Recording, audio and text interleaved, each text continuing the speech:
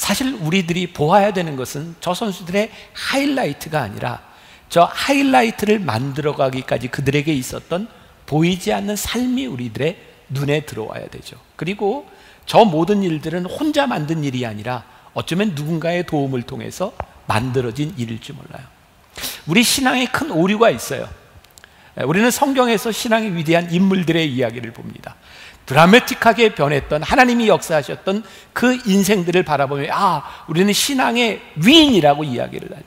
근데 사실 그런 위대한 놀라운 스토리가 있기까지 그들이 어떤 삶을 살아왔는가, 어떻게 하나님과 동행했는가, 이것이 사실은 훨씬 더 중요한 일이에요. 그래서 우리들의 눈에 들어와야 되는 것은 저 엄청난 하이라이트가 아니라 일상을 살았던 그들의 모습이 어떤 것인가가 우리들의 눈에 들어와야 돼요. 묵상은 일상적인 우리들의 삶을 하나님과 함께 동행하게 만들어 주는 데에 이 묵상의 유익이 있는 것이죠.